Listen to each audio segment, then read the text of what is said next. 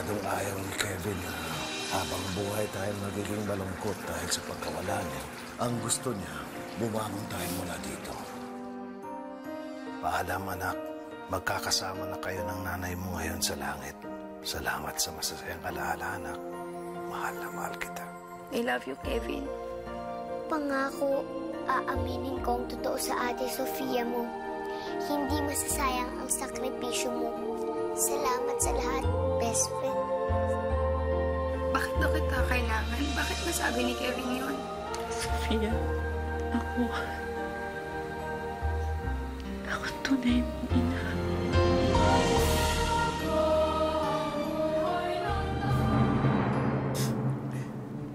Ano sinabi mo? Ulitin mo ang sinabi mo, madam? Ako ang tunay mong ina. Sophia, ikaw ang anak ko. Ikaw si Tricia. Ikaw yung anak kong matagal na nating hinahanap. Ano ba? Madam, ano to? Joke? Nag nagloloko ka ba? Madam, pwede ba wag ngayon? Hindi magandang joke yan eh. Hindi ako nagbibiro.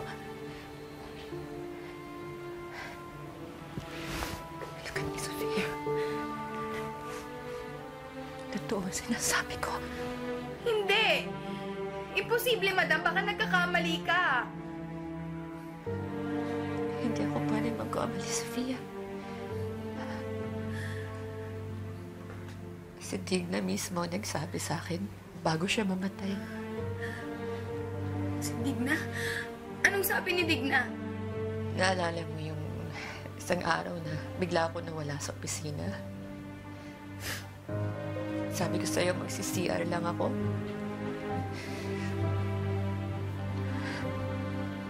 Bigla ka nakatanggap ng tawag mula sa akin.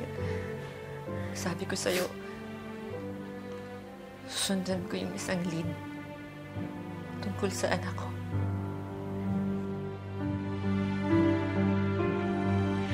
Si Digna ang nakita ko noon, Sofia. Pumunta siya sa opisina para sabihin kina Bobby na may anak ako na siyang totoong tagapagmana ng kumpanya. Nung oras na yun, iniwas ko siyang makita mo dahil gusto kong ako muna ang makaalam kung nasa ang anak ko. Pero bago pa kami nakapag-usap, inatake siya ng sakit niya. Napilitan akong dalhin siya sa ospital. At doon ko pinagtapat sa kanya kung sino ako. Pagkatapos noon, sinabi niya sa akin kung kanino niya ipinaampon ang batang iniwanan ko sa kanya. Kaya ba ganun iyakap mo sa akin? Pinamigay ka ni Digna sa kababata niya sa Misamis, sa best friend niya. Sa nanay Teresa mo. Nagkita sila sa simbahan. Nandoon ang nanay mo na nagdadasal. Nanghingi sa Diyos ng anak. Eh, Sofia, believe me. Telling you the truth. Kung hindi ka pa rin maniniwala sa akin, si... si Jack, tanungin mo. Kasi nalaman niya yung katotohanan tungkol sa akin. Or sa ano, sa tatay mo, sila magpapatunay na nagsasabi ako ng totoo. Maniwala ka. Alam ko mahirap paniwalaan. It's hard to believe. The truth. Siguro kaya tayo pinagtagpo ng tadhana. Kaya niya ako binalik sa lupa para itama ko lahat ng pagkakamali ko sa'yo. And that's what I've been trying to do. May ayos ko at may tama ang lahat ng kasalanan ko sa'yo.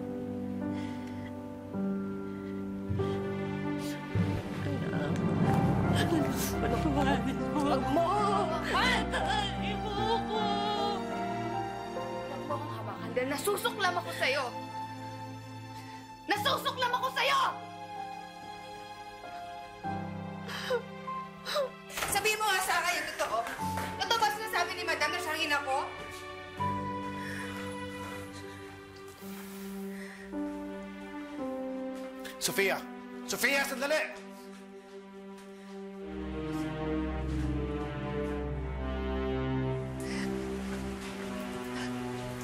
Magalit ka na kung gusto mo magalit sa akin. Mag-uusap tayo. Magpapaliwanag ako. Sige. Magpaliwanag ka. Gusto kong marinig mula sa'yo kung bakit mo ako pinamigay. Kung bakit sa higit dalawampung taon hindi mo ako hinanap.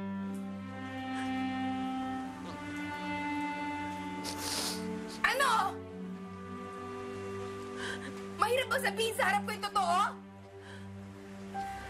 Sa bagay ng best ko rin namang na- narinig sa'yo yung mga rason mo eh.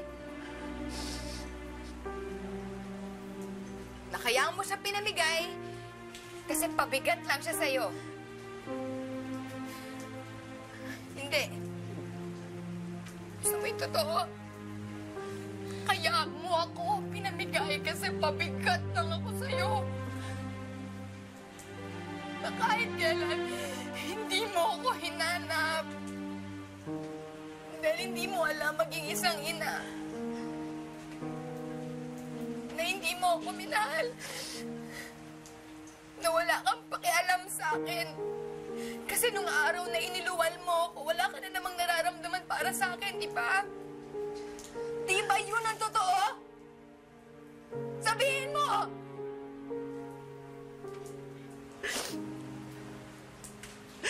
Sophia, forgive me. Patawarin mo ako. Alam ko, malaking kasalanan ko sa'yo.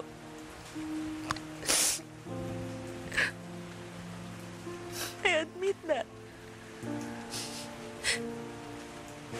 I've changed. I've changed. Hindi ba nakita mo yun? Alam mo yun.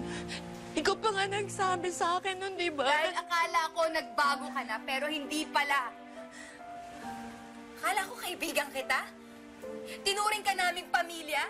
Pinagkatiwalaan kita, tapos lolokohin mo lang kami? Sophia, hindi totoo. Sinungaling! Naglihim ka! Pinagplanuhan mo ko, ang pamilya ko, kaming lahat dito. Minanipula mo kami para makuha mo yung gusto mo. Ano? Gusto mong patawarin kita para umakyat ka sa langit?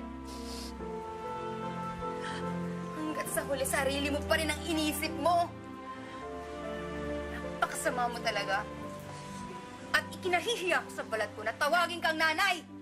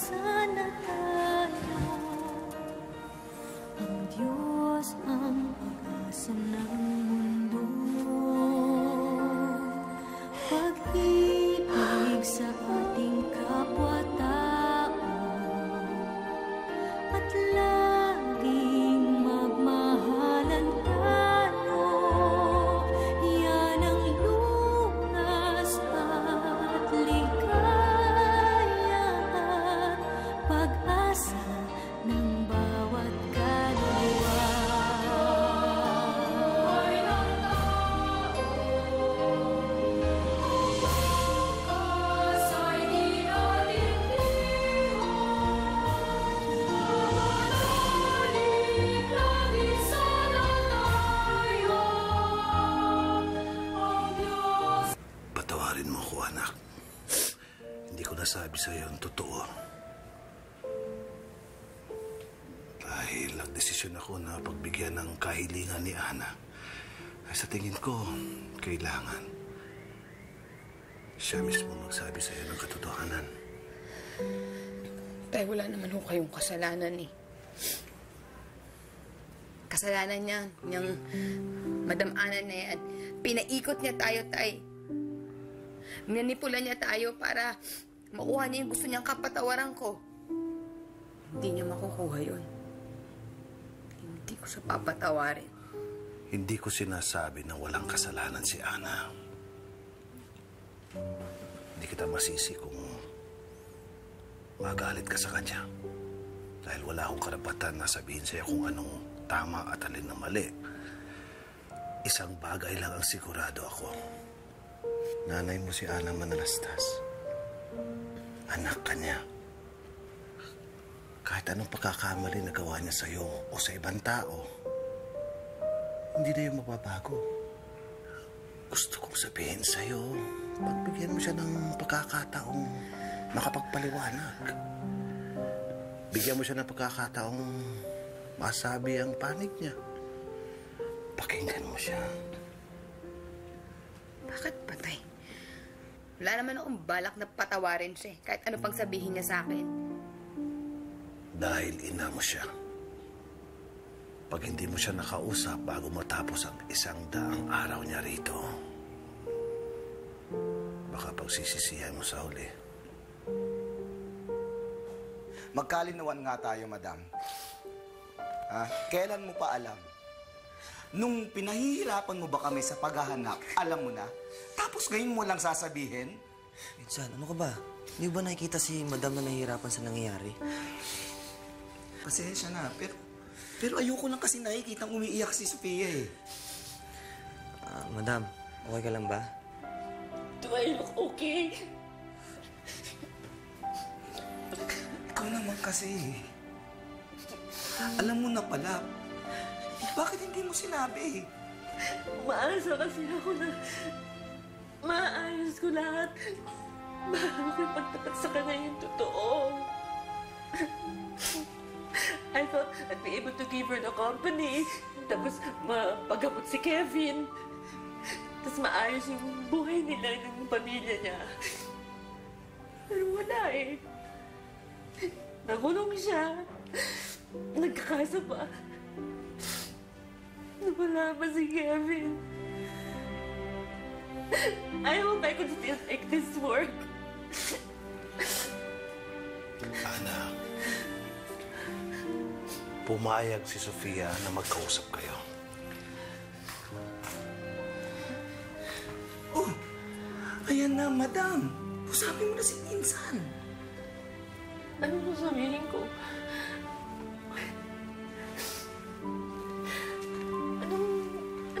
Sabihin ko sa kanya para mapatawad niya ako?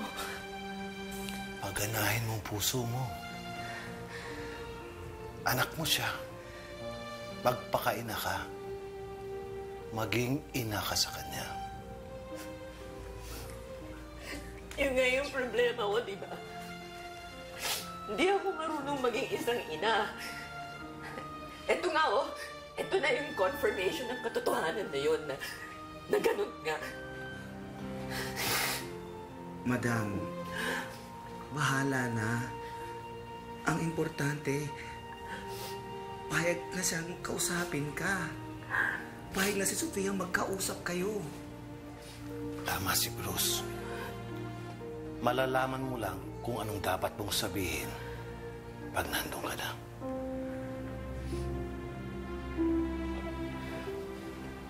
Good luck, madam.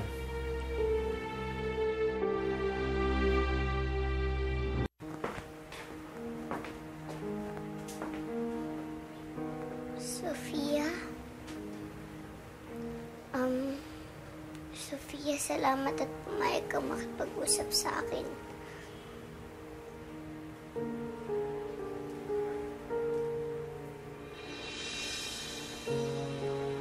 Sofia, tama ka. Hindi ko dapat inilihim sa ang lahat. Wala naman yun nagawang mabuti kung hindi dagdagan ang kasalanan ko sa'yo. I'm not here to justify myself. Nandito ako para humingi ng tawad sa'yo. Please. Sophia, please. Tawarin mo ako. All I ask of you is to to give me a chance to make it up to you. Para may tama ko yung mga pagkakamali ko sa'yo. Kaya ba gusto mo na sa akin mapunta yung kumpanya mo? Kaya ba ilang beses mo ipinamukha sa akin na sa kumpanyang yon matutupad ko ang mga pangarap ko? Kaya ba ipinilit mong iparamdam sa akin na sa opisinang yon doon ko mahahanap ang tunay kong sarili? Aaminin ko sa'yo. I tried to do everything for you to take an interest in the company. Ah, Gusto ko, mahalin mo, gustuhin mo, na mapunta sa'yo yung kumpanya ko. Kasi yun naman talaga yung sa'yo eh. Sa'yo naman talaga yun. Ikaw ang tunay kong tagapagmana. Sofia, kasi gusto ko na naman ibigay sa'yo yung maginhawang buhay na hindi mo naranasan dahil pinaampun kita.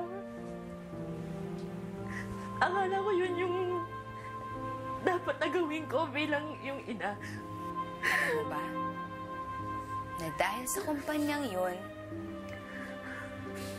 nagkagalit kami ng tatay ko. Dahil din sa kumpanyang yon, nagkaroon ako ng kaaway, nagmahal ako, at nasaktan ako. At dahil din sa kumpanyang yon, nakulong ako at nagkakaso ako. At dahil sa kagustuhan mong mapunta sa akin yung kumpanyang yon, nasira ang buhay ko at ng pamilya ko. At alam ba kung ano pinakamasakit? Hmm? Namatay ang kapatid ko.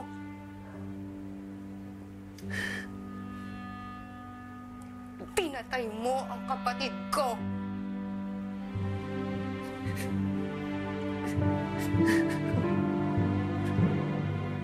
Panginoon, tulungan mo po silang mag-ina, sina Ana at Sofia.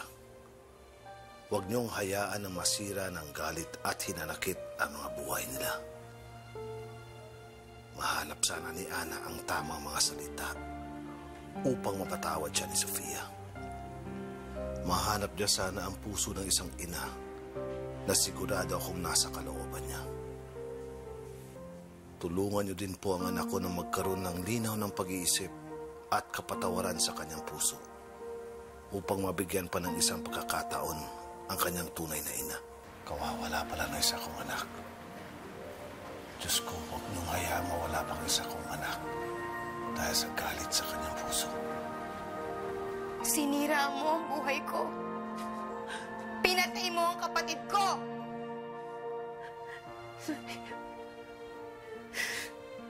Wala akong... Hindi ko sinasadya. Hindi ko sinasadya. Wala akong gusto kung hindi yung magkaayos tayo. Magkaayos, madam? Kahit anong gawin mo, kahit kailan, hindi na tayo magkakaayos. Dahil nasira ang pamilya ko dahil sa'yo. At hindi mo na ako may sa dati.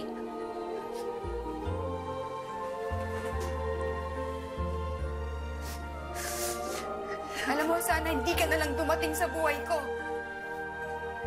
Sana hindi na lang kita nakilala.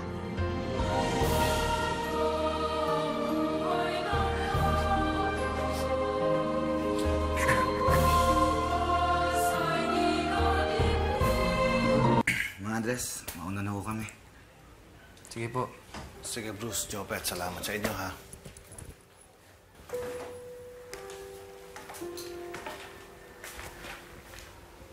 Anong nangyari, Ana?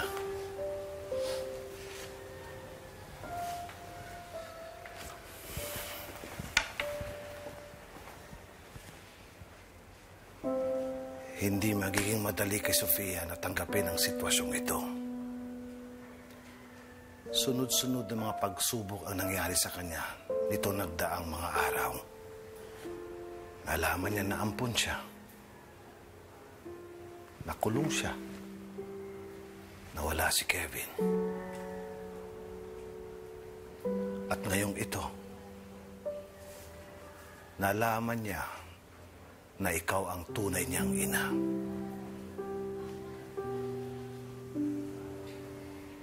Bigyan natin siya ng pagkakataong makapag-isip.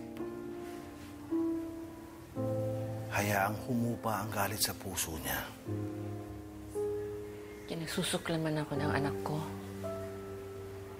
Andres, mas mabuti pa sigurong umalis na muna ako.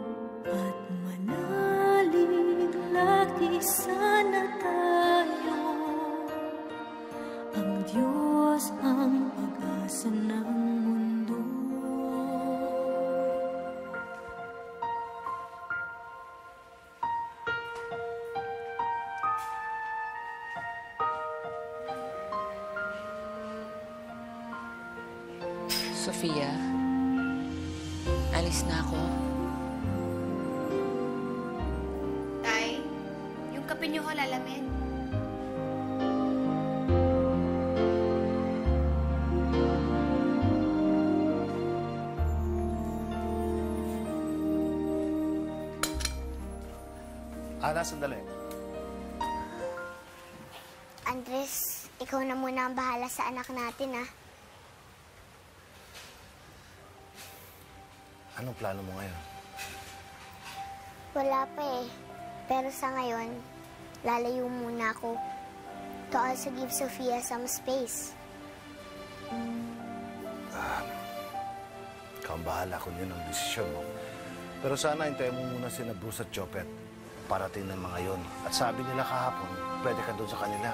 Kung nga, dito na pala sila. Mga Andres, ah, oh, Oo, sige, sige. Sige, tamang-tama. Eh, kung okay lang sa'yo na tumira dun sa maliit naming bahay, kasama kami, at saka si Lola Kayang, edi, sa amin ka na muna tumira. Sigurado ka ba sa sinasabi mo? Oo. Parang hindi ko naman atang makakayang gumagala-gala ka dyan sa kalsada ng mag-isa. At saka... Tsaka mamimiss ko yung tinatawag kitang kutong lupa. Salamat, Bruce. Salamat, Chopet. Maraming salamat. Andres, salamat rin ah. Ikaw na muna ang bahala kay Sofia. Huwag kang mag-alala. Kakausapin ko siya para sa'yo. Salamat, Bruce Chopet. Sige, kayo nang bahala kay Ana, ha? Sir, ma'am, may bagong developments po tayo sa mga taong pinapahanap ninyo. Ayon sa mga nakausap namin, ng mga dating katulong ni Madam Ana, isang tao lang ang pwede magpag-iwanan sa anak niya. Isang dig na amparo na isa sa pinakamalapit na katulong sa bahay nila noong mga panahon na yon. Dating katulong?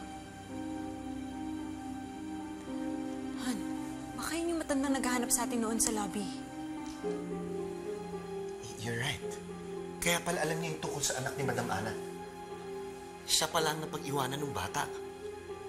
Yun din po ang suspecha namin. Pero po nung hinanap namin siya, natuklasan lang namin na kamamatay lang niya sa isang ospital. Ilang linggo pa lamang po nakakaraan. What? Patay na siya? How's this? Paano natin malalaman kung anong ginawa niyang digna na yan doon sa batang yun? Hinahanap po namin ngayon mga kamag-anak niya. Baka sakaling doon niya iniwan yung bata. Baka may nakakalam isa sa kanila kung anong ginawa ni Digna sa kanya. Sige. Good job. Maraming salamat. Sige po, sir. Ma'am.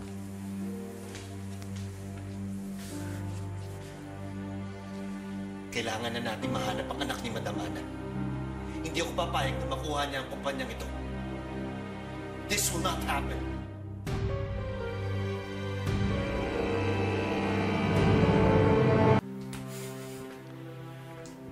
Umalis na si Ana Sofia.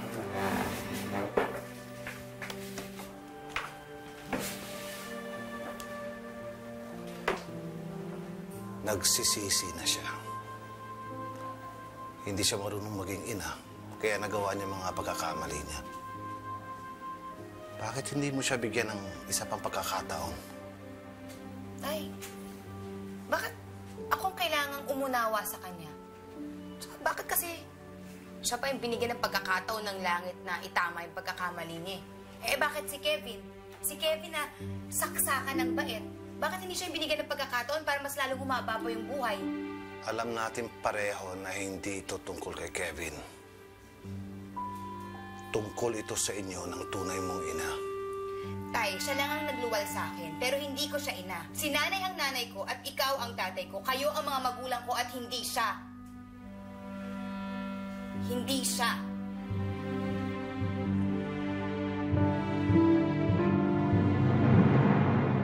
Siguradong magkakagulo ang mga buhay natin.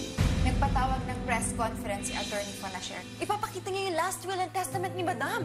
Lawyer nangungulit para dun sa kaso. Aba, importante yun. Bakit hindi mo kinausap? Eh, tay, ang dami-dami ko na problema. Kailangan mo nang umabante mula sa puntong to ng buhay ko. Ano na ang napagdesisyonan mo? Kakausapin ko na si Madam, tay. Ano, Pisa? Makikipag-ayos na ba kay Madam? Sofia, Pwede ba tayo mag-usap?